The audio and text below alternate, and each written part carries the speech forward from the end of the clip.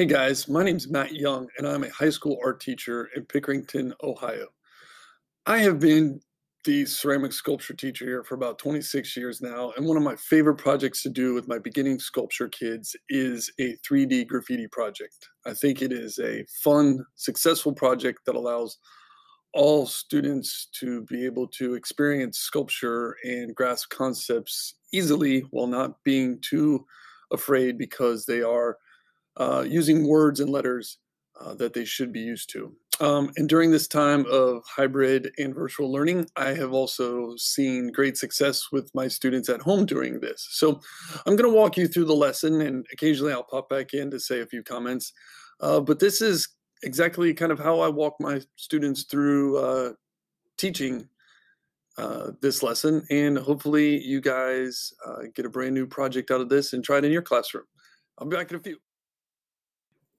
So I spend about two to three days planning the work with the students in class and give them a worksheet. I tell them they can use any word as long as it has school appropriate language in a minimum of five characters. And I do show a PowerPoint on the history of graffiti and have some fun with that one and show them some different styles. Four inch box by an eight inch box. Uh, so hopefully you have a ruler at home and you could draw. When you're doing a graffiti plan, you would like for your plan to fill up the whole box. Now, not many of you have probably drawn graffiti before, so in the first box, okay, so in the first box, go ahead and think of the word you want to write. Remember, the word that you want to write needs to have five characters in it. And again, they can be numbers or letters or symbols.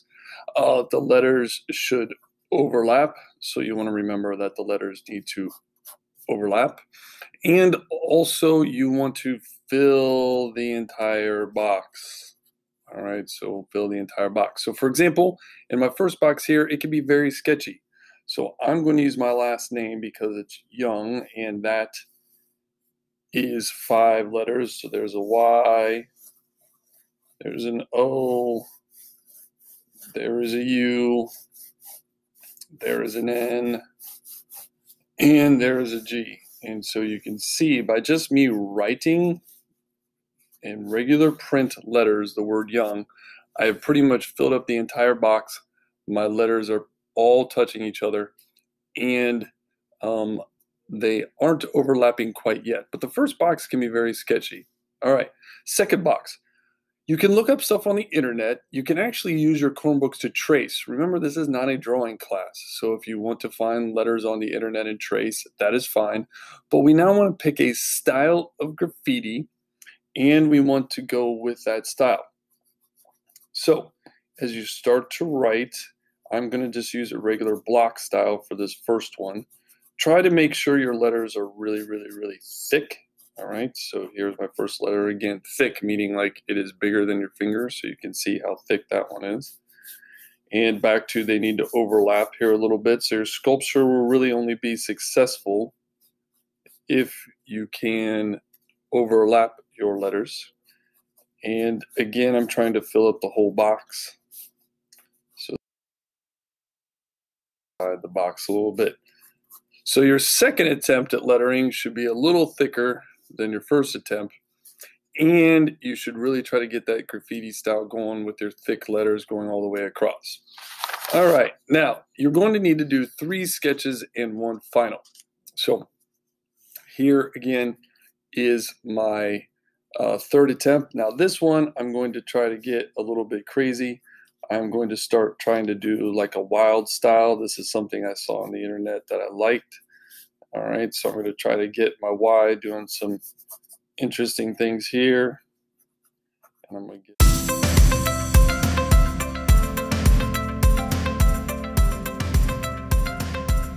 So that one now has a little bit more style.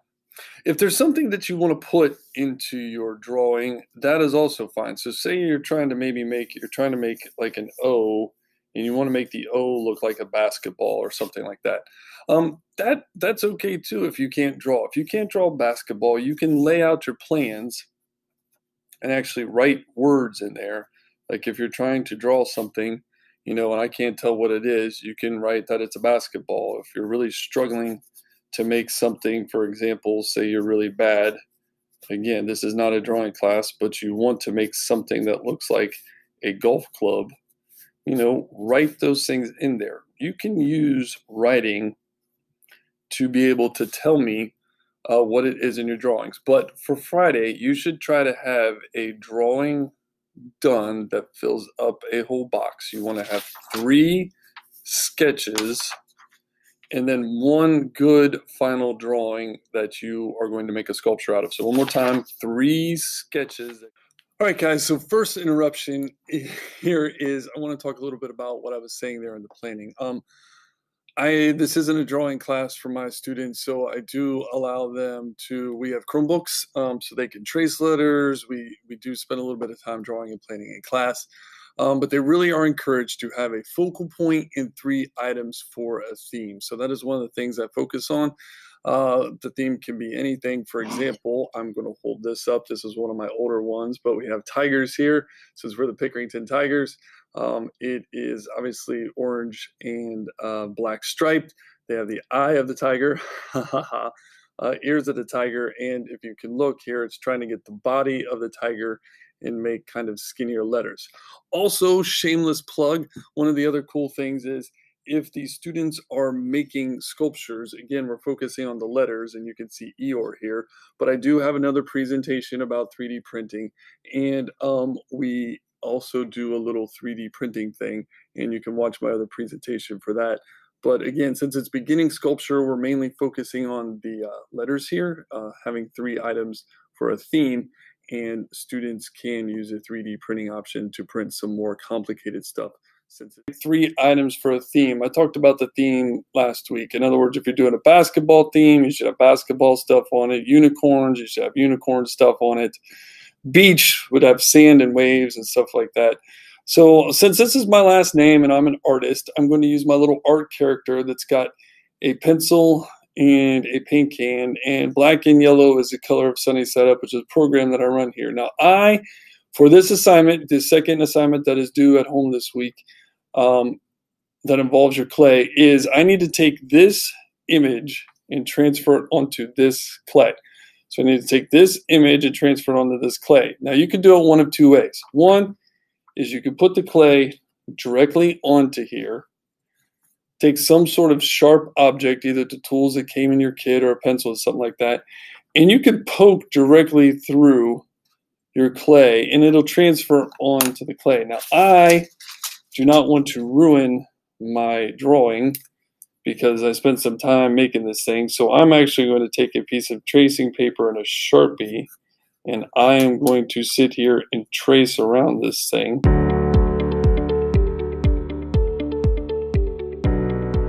Traced, and so you guys can see this, I'm going to move this out of the way and sit this on here, which is, this is why it's important that you guys have a four by eight um, inch uh, block so that your letters should fit on your block. Now again, I'm just using a pencil. You guys can use any other sharp object.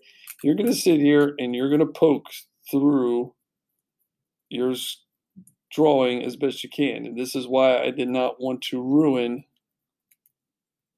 my original drawing. I'm going to sit here and again, I'm going to go pretty quickly. I would like for you guys to take your time, but I want you to see this and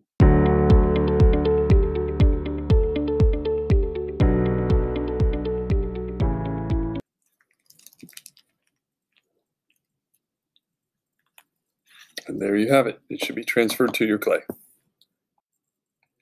So now I have traced my pattern onto the clay. The next step is going to be to remove the excess clay that I don't need. Now, we do not want to remove any of this stuff from the inside of our pieces. So one more time, do not remove the stuff from the inside. So nothing on the inside of this U, this N, and this G, and the Y. We do not want to remove anything in there. Uh, I call this the birthday cake method, and it might be easy to remember. So what you want to do is we want to start to reveal the outside shape again, no the insides, and using either like a knife, a butter knife at home or whatever, or if you want to use one of the tools in your toolkits, you are going to cut straight down. Again, this is why I call it the birthday cake. You're going to cut straight down like you would a piece of cake and straight down right on those lines that you just drew. And if you cut straight down, you should be able to remove your clay just like a piece of cake. So again, straight down and straight down, one little piece of birthday cake at a time. Take your time, work your way around your entire piece. And you should be able to start to see your sculpture being revealed. All right, you should start to see your letters appear. Of course, I say this, and now I can't get this little birthday cake piece out. There we go. All right, you should be able to start to see the outside of your piece.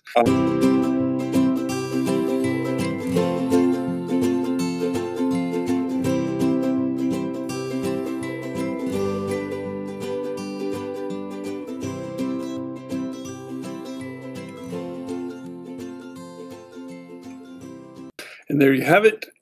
Keep your clay off to the side. You can put this in your extra scrap bag and you now should see your letters nice and clean all around the outside. You can take your knife or wooden tool and kind of fix up the edges a little bit, but that is good for the front. Exterior of the uh, sculpture cutout and we did not cut out the inside. So now what we're going to do is use a couple other tools. Uh, this one is a hollowing tool. It has kind of a, a little opening. It works a lot like an ice cream scoop. There's usually a square edge and a round edge. And in your toolkits, you should have something that looks like that. And a uh, this is a wooden sculpting knife. Uh, so what we're going to try to do is now we need to make our letters appear 3D. This is a 3D class, and we're going to use a subtractive method to try to take away some of the clay and make the letters pop out. So with your hollowing tool, you are going to come into these areas that you do need to make um, not so much a hole right now. We're not going to carve all the way through, but I would say carve to about a half or a quarter down. All right, so about a half to a quarter down. Go right up to where you drew those lines with your uh, needle or some other tool and you want to carve and scoop as you guys can see it works a lot like an ice cream scoop.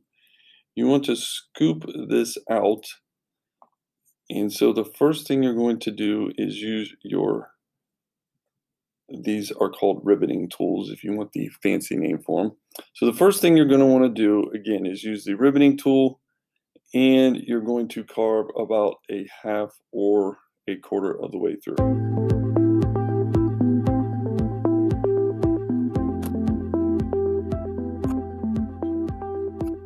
All right, guys, as you can see by the shadows here, I've carved about a half to a quarter of the way through all of those things. Now, if you remember from my drawing, this O here is going to become a little creature and we are going to talk about that a little bit later.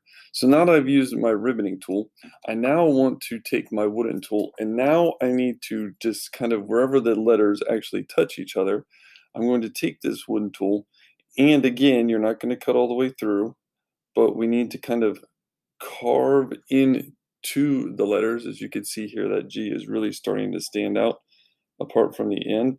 So your job is now to become an artist and you're going to start using the sculpting tool. You can use a little bit of water if you want, but in all actuality, I've found that if you let the clay dry out a little bit while you're working on it, the carving actually gets a little bit better. So I'm going to use this wooden tool now to kind of smooth out all of my little lines and imperfections, get into some of the little details that I couldn't get into with the riveting tool. And I'm going to use this to get rid of all the little dots and make my letters stand out.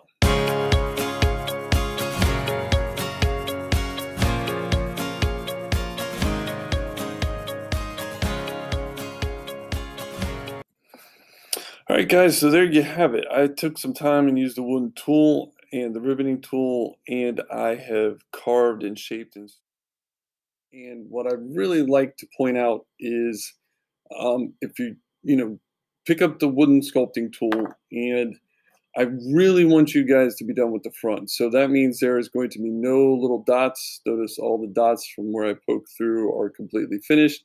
I have taken the time to carve about a quarter to the halfway through my letters and I have taken the time to kind of smooth everything out. Again, I, this is going to be my monster right here, uh, but all of my letters have no dots on them. Those dots are now gone, and I have taken the time with my wooden sculpting tool to go through here and smooth all the edges. I want your front to be completely finished.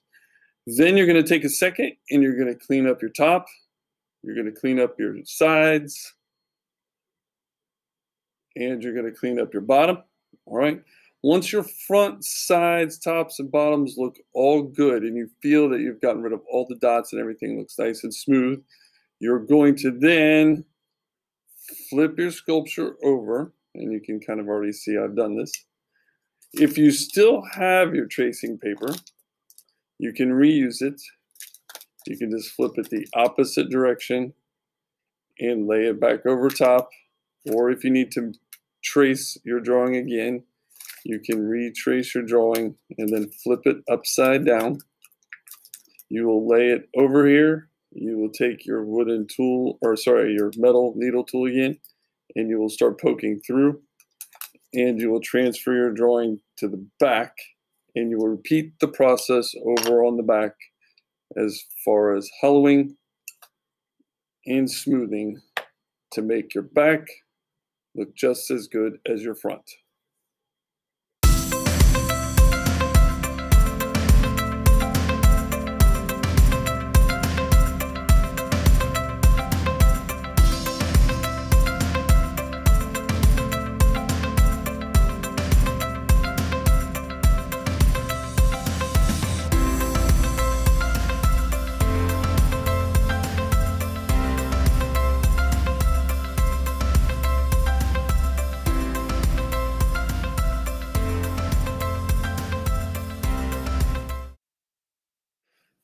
So you have taken the time to finish the front of your sculpture, you've checked on all the sides of your sculpture, and you have done the back of your sculpture.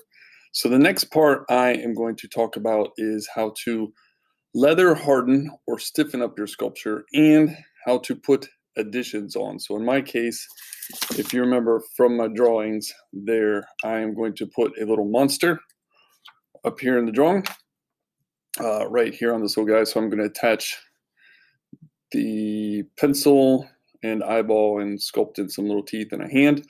Uh, so I'm going to talk about how to do that. But first, I would like to talk about uh, how to leather harden your sculpture. Now, notice that the sculpture, as I hold it, is not really like bending or falling apart. It is pretty stiff in nature. So, in order to get your clay to this stiff part, and this goes for at school or home, so if you'd like your clay to stiffen up a little bit, you got a couple different options. You can leave it out um, just to air dry for a couple hours if you're at home, and it will stiffen up a little bit. If you are at school, you can leave it overnight in one of the cupboards, or if you are in a hurry, you can grab a hair dryer and about five to 10 minutes on each side with a hair dryer. And you will notice that your clay is no longer like squishy, but it is stiff enough, and that is called leather hard. So if you like to get your clay leather hard, you could do one of those three things. Leave it out for a couple hours if you're at home, leave it overnight if you're at school in the cupboard, or you can use a hair dryer if you would like to. All right, so I would like to add some pieces and parts um, to my monster. So first thing I want to do is start carving in my monsters. So give me a second and I'm going to go through and carve some of those things.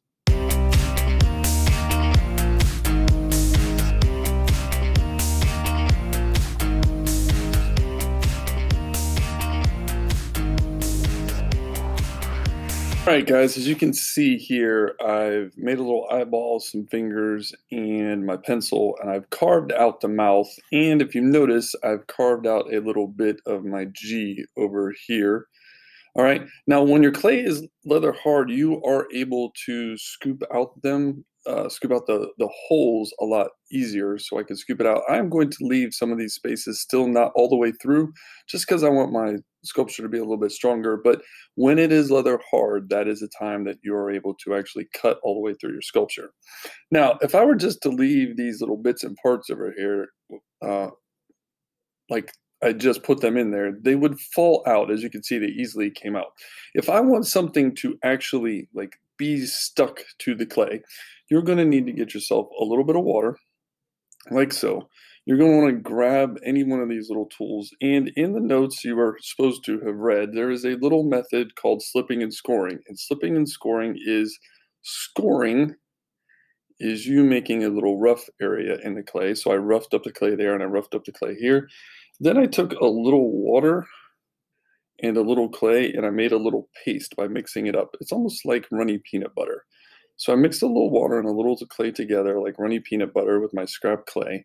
And I'm going to stick those two together. And now that I've stuck together, if you've ever seen tiling done on one of the home shows on the home improvement channel at home, uh, it's almost like using like mortar or something to stick tile down, but it's called scoring and slipping. So if I want to stick my pencil now to my sculpture. I'm going to score up the back of where I want the pencil to be.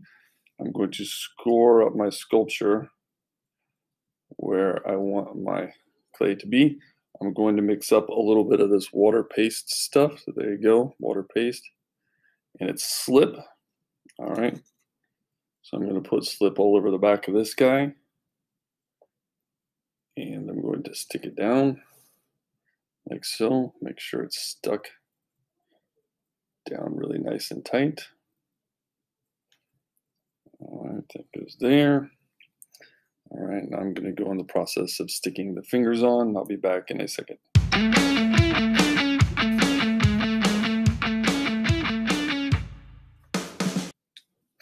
All right, and there you guys can see by scoring and slipping, I am able to attach all of my little items and they are not going to fall off my sculpture. I've taken a second to smooth them and stick them down and they are all so you guys have made the front of your sculpture and you've taken the time to score and slip and put any additions. As you can see, I got my little creature guy from my drawing right there. I really took my time to put the spray paint, put a tongue, give a pencil, give him some fingers and all that jazz. And I'm going to put the extras on, uh, paint them up really nice. I am also taking the time to clean up the back and make sure the back is all nice and neat. So the next thing you want to do after you have completely worked on your sculpture is you are going to have some extra clay left over. All right. So you're going to take your clay and like I have already done, you're going to try to like pound it all together with your hands, kind of squish it, and you should be able to make a block. If you are having trouble squishing the clay together with your hands, you can actually pound it against the table or against uh, kind of a canvas board if you've got something at home. Uh, but the idea is, is you are going to try to now make a base uh, for your project. So in my case, give me a second here, and I am going to try to get this as flat as I can by hand. All right, now I have really taken the time to try to get this as best as I can into a somewhat flat state. And I'm going to lift up my camera here a second so you can see. I've tried to get it as flat as I can, and I've tried to get it thin and even as best as I can with my hand. Now, I can't go any further with my hand, so I'm going to pull out a rolling pin, and you guys may have seen this from the first video where we tried to make our block the same size. Um, so I want to roll this out. Now, don't roll it out crazy thin, but I am going to take the time to kind of roll it out in both directions. So I'm going to take it one way and I'm going to try to roll it out the other direction. I want to try to keep even pressure on it. This is a trick. Even pressure over the whole thing. All right.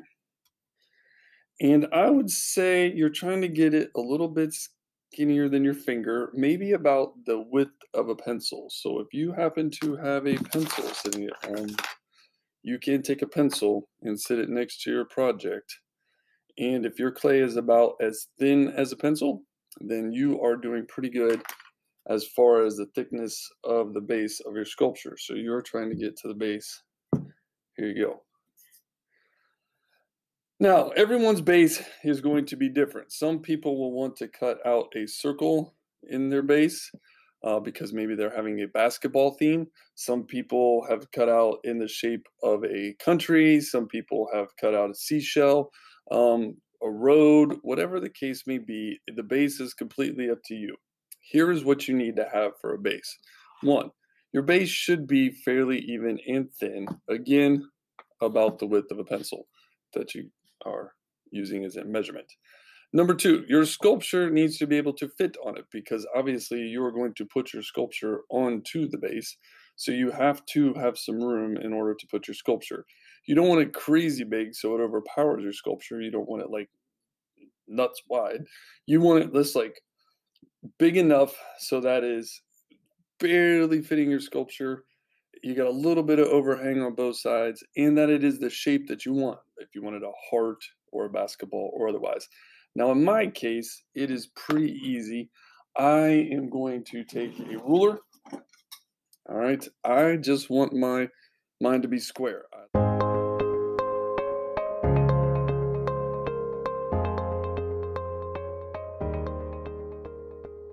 Some scoring and slipping to the paste. And then you're going to stick your sculpture down to the base so it sticks. So a little intermission here, guys, just to tell you a little bit about the uh, what's going on here with the sculpture. Um, my in-class students would use a regular sculpture clay. We get it from a local clay company here. Um, and my kids that were home learning virtually used an air dry clay. And again, you can buy any brand you want. We happen to get it from a local clay company, you know, support the local businesses type of deal here. Students are in class would uh, i finish it with acrylic paints. Um, i teach a lot about color mixing color theory warm cool etc etc stuff like that. And you're going to see here in the video that the virtual students were encouraged to use whatever means necessary that they had uh, to paint their projects because we were unable to ship clay or uh, paint home to them just the clay and the tools. So either method is fine. I've had students, I offer extra credit for them to also be creative with uh, materials as far as finishing. So um, students have brought in coffee beans, uh, moss, grass, sand, glitter, spray paints. Uh, there's been all kinds of various things, seashells to finish all of this off. Again, it's all about their creativity and kind of showing a theme or fun kind of mood with their graffiti. Um, so have fun with this. You can glaze or do whatever you want, but it's you know obviously finding about how the students want to finish their work uh, to show their personality takes about 24 to 48 hours to completely dry out your clay. So you are going to leave this clay sitting preferably like in a nice sunny spot where it's not going to get broken, uh, windowsill or anywhere. You can also hit it with a warm hair dryer for a while to kind of speed up the process, but you want it to be, you know, pretty hard, pretty solid after the thing's dry. So we're going to talk a little bit about finishing. Now, finishing is up to you. I think, and you guys can tell me if I'm wrong, but I think I provided you with like a brush in uh, at home.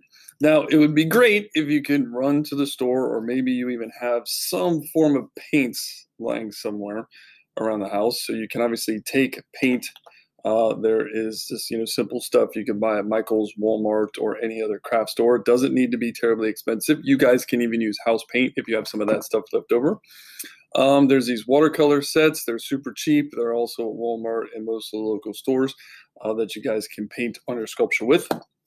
Um, but I understand a lot of you guys will not have access to a lot of materials. So some other things to consider that you can use when you're painting your project. Um, you can use uh, markers. Uh, the clay will accept markers, so you guys can use markers to paint on your project. Um, Sharpies are also a type of marker that would work. You can even use colored pencils. Colored pencils will you know, and crayons will, it'll take longer, but you can see they will eventually draw on there. In the absolute worst case scenario is if you're just left with a simple little pencil, okay, well, that's fine. Even if you're left with a simple pencil, you can use, you know, the pencil to kind of highlight some areas. Maybe you want some darks down in between, so you can highlight the areas in between to make them appear dark and stand out. But this this part is going to kind of be your creative portion of it. I would like for you to paint the front of the sculpture. I would like for you to paint the base of the sculpture, and I would like for you to paint the back of the sculpture. You do not have to paint down here in the bottom whatsoever. Because next week you are going to actually take a picture of the front and of the back and show it to me. One other thing to consider while you guys are doing the painting on this is you would like one area to stand out of your sculpture when you're done painting it. And that is going to be your focal point. And I'm going to show you a couple examples of a couple other sculptures. So here is one that is about, oops, that's the backside, sorry. Here's one that's about the beach, and you can see they painted it with beaches and waves and a sunset. But see how they made the sea stand out in beach? That is a focal point. So they did a nice, lovely beach painting, but the sea is standing out and it's the focal point. Uh, this student here uh, painted theirs out um, to make it look like red rain boots and raindrops. And you can see they painted the I blue here to stand out from all the other letters. So I am going to end up painting my monster and having it look differently. But once again, as you guys can see here, you're going to finish painting the front and the tops and the sides and everything. And then you will paint one object to stand out differently. So guys, thank you for joining me for my presentation on 3D graffiti. Um, I've been doing this for about 10 years now, this particular project, and the kids really do seem to love it. Uh, they like the fact that the letters are not, you know, it, it's not intimidating for them to do for a first project. Uh, they like the creativity behind it. And like I said, I've seen everything, you know, from sports to video games, you know, it's, it's limitless with what the kids will uh, come up with. So uh, if you have any questions, feel free to email me. Uh, you can also check out our website for any links that may help. You can go to centralartblog.blogspot.com. Again, shameless plug. And I hope you guys have a great conference, and uh, we'll see you later on down the road.